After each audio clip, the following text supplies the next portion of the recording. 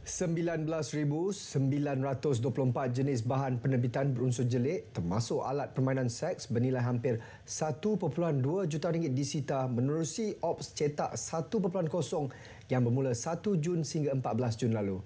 Sitaan dibuat hasil pemeriksaan KDN ke atas 1,759 premis di Selangor, Pulau Pinang, Johor dan Kedah. Rapasan juga berpunca daripada pelbagai kaedah kita telah buat risikan di dalam talian.